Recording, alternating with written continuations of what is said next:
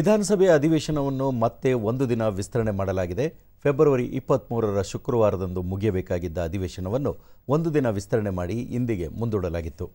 ಆದರೆ ನಿನ್ನೆ ಶಾಸಕ ರಾಜಾ ವೆಂಕಟಪ್ಪ ನಾಯಕ ಅವರು ನಿಧನರಾದ ಹಿನ್ನೆಲೆಯಲ್ಲಿ ಇಂದು ವಿಧಾನಸಭೆಯಲ್ಲಿ ಸಂತಾಪ ಸೂಚನೆ ಸಲ್ಲಿಸಿ ಯಾವುದೇ ಕಾರ್ಯಕಲಾಪಗಳನ್ನು ನಡೆಸದೆ ಅಧಿವೇಶನವನ್ನು ಬುಧವಾರಕ್ಕೆ ಮುಂದೂಡಲಾಯಿತು.